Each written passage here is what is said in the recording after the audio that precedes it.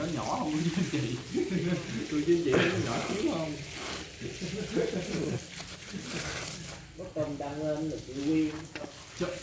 Hồng Ngọc Mai là con đang ờ, chuẩn bị đóng để giao ờ, tất cả cô chú anh chị.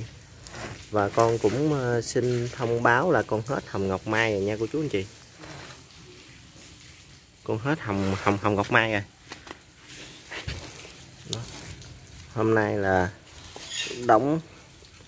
Những cây này là những cây uh, cuối cùng của lô. Và con còn mấy cây nhỏ nhỏ không mà cô chú anh chị ơi. Còn những cây hiện tại còn ở vườn con thì nhỏ nhỏ không mà. Con đã tuyển chọn ra và con đã gửi đi hết những cây nằm ok ha. Đó.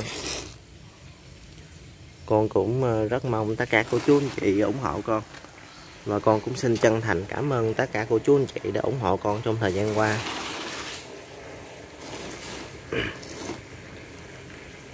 Hồng Ngọc Mai, con mới vừa kiếm được một lô nữa, nhưng mà cái giá nó cao quá.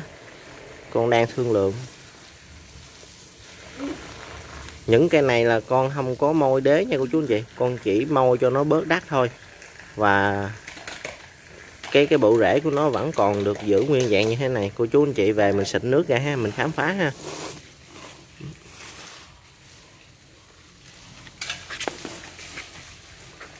Đó.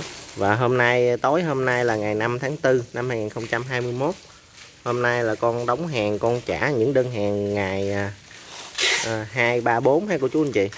Nó cô chú anh chị à, à, rất mong cô chú anh chị thông cảm tại vì con tụi con đi làm về ban ngày á, rồi tụi con ờ, chắc tối tụi con mới đóng hàng. Cho nên những đơn hàng của chú anh chị hơi chậm trễ nữa rất mong cô chú anh chị thông cảm. Đó. và hôm nay thì con đang đóng cũng khá là nhiều. Năm sáu mươi cây. Giờ này đóng thì mũi cũng rất là nhiều luôn. Đốt nhang mũi nhóc trơn này của chú anh chị ơi. Đó rồi. À, rất à, mong à, cô chú anh chị à, tiếp tục ủng hộ con. Và con cũng xin chân thành cảm ơn tất cả cô chú anh chị đã ủng hộ con trong thời gian qua. Và cũng như là xem video của con đăng ký kênh con. Rồi con xin à, tạm dừng video tại đây ạ. à.